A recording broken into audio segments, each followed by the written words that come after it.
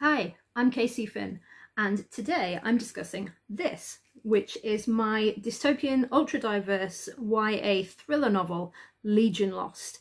Uh, this is a genre bending book that was published by Amazon's own in house company, which is Kindle Press, a few years ago.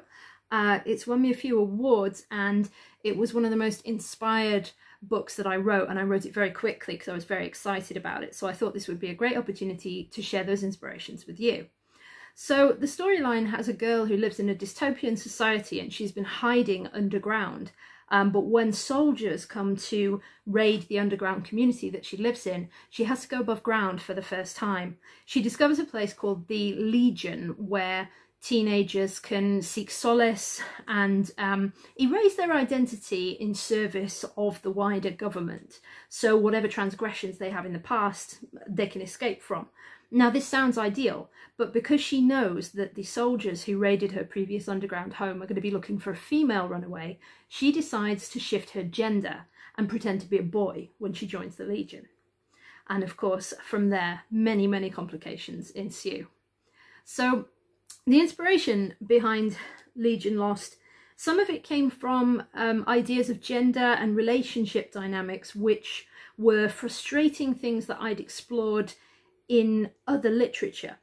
So, for example, I've always been really annoyed by the end of Twelfth Night. Uh, for those of you who are familiar, Viola, who pretends to be a boy throughout the entire Shakespeare play, um, right at the end, she reveals to Orsino, who is already in love with her, whether she's male or female, that she's a woman, and he says, oh, "Thank goodness."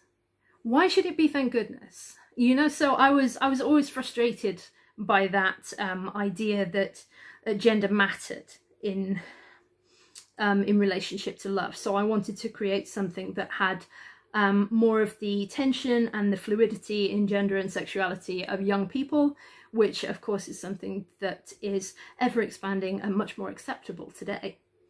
I also enjoyed with this particular book reworking a historical concept, which was that of the French Foreign Legion, which um, the book is named for, that particular inspiration of a place where people who have no hope or no prospects or have a past that they may wish to uh, erase can go. So, based on that, my advice for new writers who are looking for inspiration would certainly be to read other stories with a critical eye. You can see what developments, adaptations, and changes you could make. Um, if there's anything in there that's sort of out of date or frustrates you in some way, and see what improvements you can make to it. Because you know there are no 100% original stories. We're all going to get ideas from reading each other's stuff and making new adaptations and spins on that.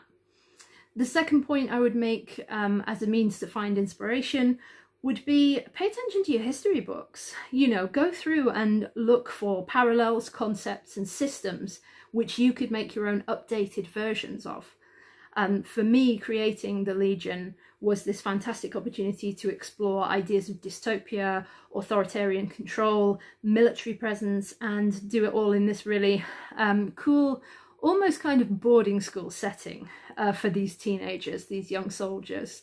Um, who get to uh, mix with different people and everybody has their own secret to keep.